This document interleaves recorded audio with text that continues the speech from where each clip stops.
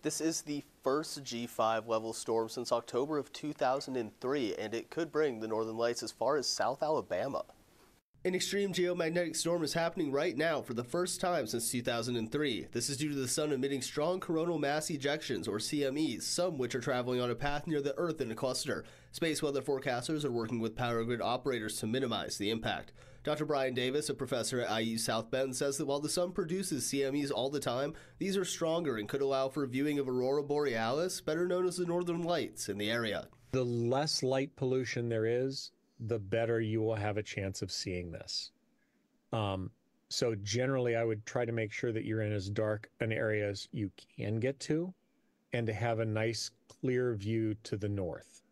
You need to have no clouds. Davis says if you still have your eclipse glasses, the sun has a special view of its sunspots right now. The sun goes through an 11 year cycle, and right now we're near the peak of that cycle, so it's a very active sun.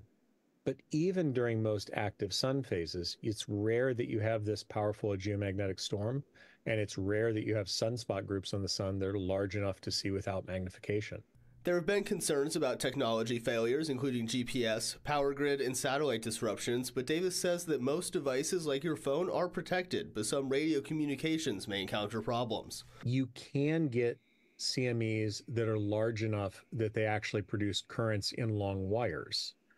Uh, if that happened, you could start getting fluctuations in the power grid or the telecommunications grid.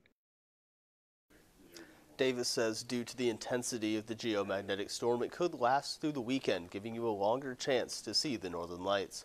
At the live desk, I'm Asher Bookspan, WSBT 22 News.